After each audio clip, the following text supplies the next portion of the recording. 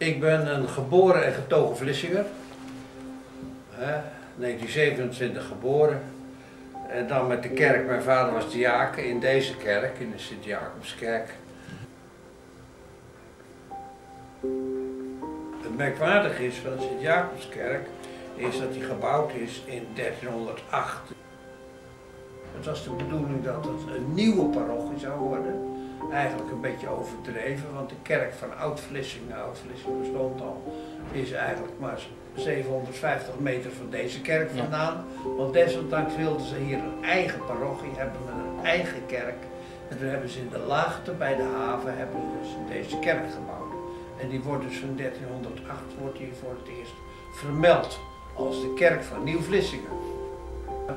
De ontwikkeling dus van de haven en de kerk is precies parallel aan de ontwikkeling van Vlissingen. En in 1572 is de kerk overgenomen door de hervormde eredienst. De katholieken zijn eruit gejaagd en de protestanten hebben de kerk in gebruik genomen. Dezelfde kerk voor dezelfde mensen. dat, het lijkt wel alsof die afgepakt is, maar het was het monumentale gebouw van Vlissingen. We werden afgevoerd omdat in Duitsland een schreeuwend gebrek aan koper was, aan brons.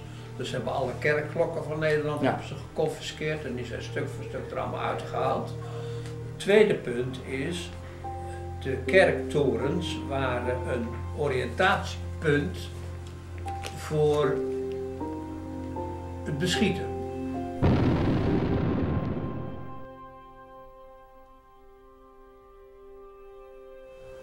Uiteindelijk kwam ons huis in het water te staan.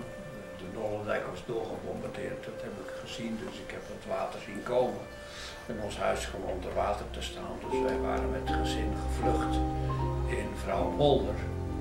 En toen heb ik daar de dijk zien doorgooien. Ik was in de oorlog met mezelf afgesproken dat ik nooit meer bang zou zijn.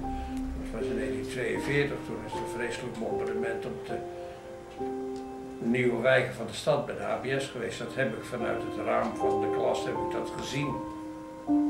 We zijn uiteindelijk bevrijd op een boerderij in Vrouwenpolder.